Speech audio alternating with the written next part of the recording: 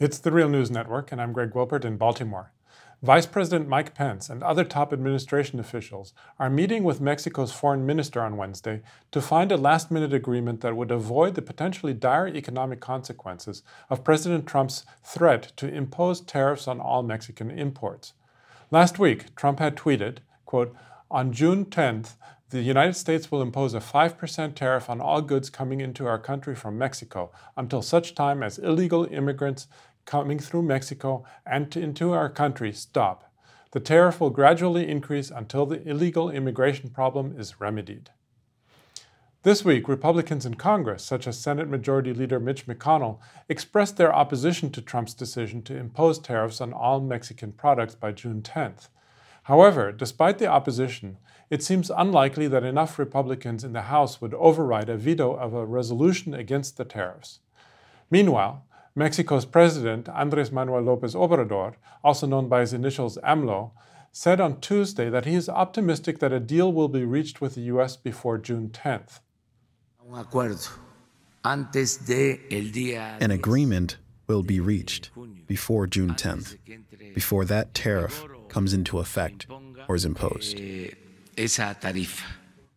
Joining me now to take a closer look at the impending tariff conflict between the U.S. and Mexico is Manuel Perez Rocha.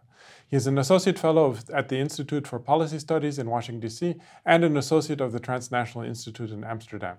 Thanks for joining us today, Manuel. Thank you for having me. So, news reports suggest that Trump is determined to move ahead with the tariffs on Mexican imports next week. If that were to happen, what U.S. industries and what states would be most affected, and what would it mean for U.S. consumers more generally?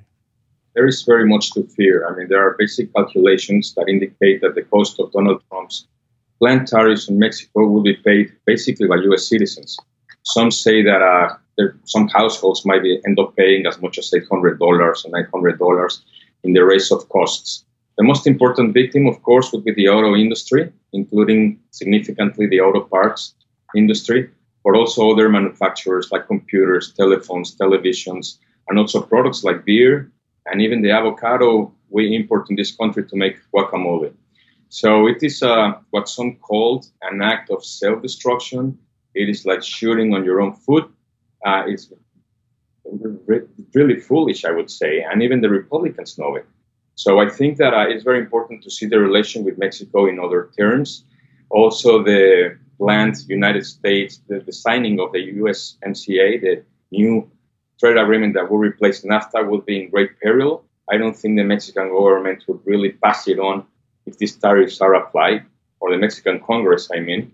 And there are many other products that also the United States exports to Mexico and Mexico would very surely re- retaliate. I'm talking about $42 billion of machinery that are exported to Mexico, and then electrical machinery, 41 million, vehicles and vehicle parts, 21 billion, mineral fuels, 20 billion, and so on. There are so many things that are exported from California, Texas, and other states in the US that would suffer severely. And looking at the other side, at the Mexican side, what effect would these tariffs have on Mexico itself? Well, it will have the effect of affecting mainly companies that are transnational companies. Uh, exports from Mexico have very little content, very little national content. So, uh, as I have said in the past, I, and this is something I've been advocating, scrapping NAFTA nor tariffs of the so-called Mexican exports wouldn't be such a disaster in itself for the real Mexican economy.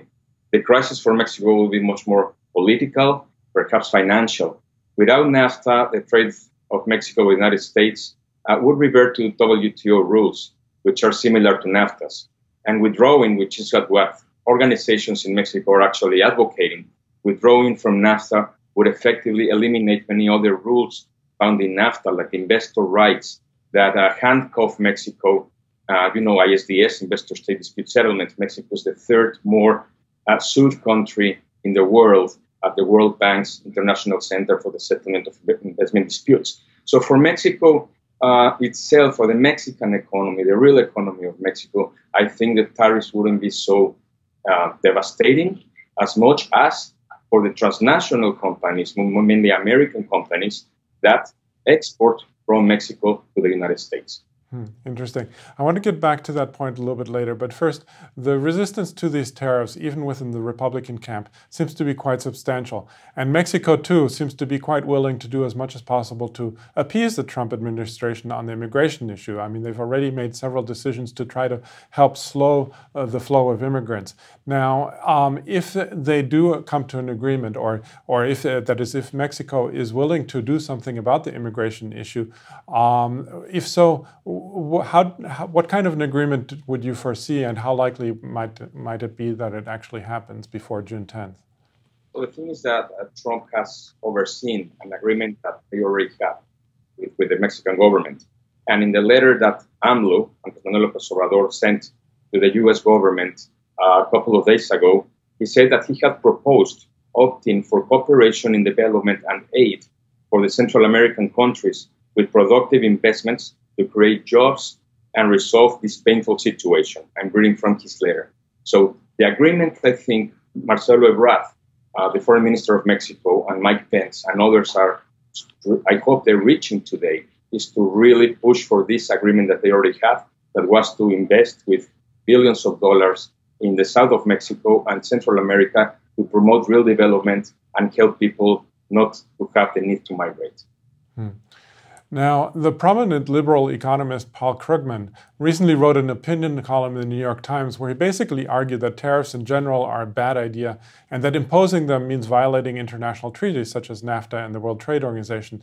Now, um, the effect uh, would be not only a tax on US consumers, as we've already mentioned, but uh, more importantly, it would mean a breakdown of uh, regulated international trade and the possible start of global trade wars, uh, which then could mean economic decline for everyone.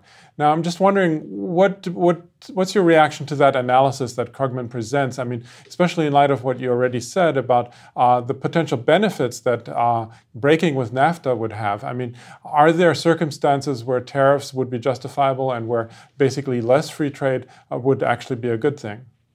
Oh, well, that's a good point. I think Krugman has it right in that uh, this nationalism, exacerbated nationalism uh, presented by people like Donald Trump and others, is just a regression to the past. We need trade agreements, but we need trade agreements that work for the people and not only large transnational corporations.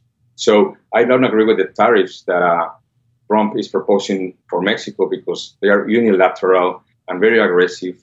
And I think we have to dismantle the present trade system that works only for transnational corporations, or with a methodical way, and not just trashing the whole uh, system like uh, President Trump is pretending to do proposals, we have alternatives. We have so many documents that come from the farming sector, from the trade unions, from environmentalists on how to make trade agreements better.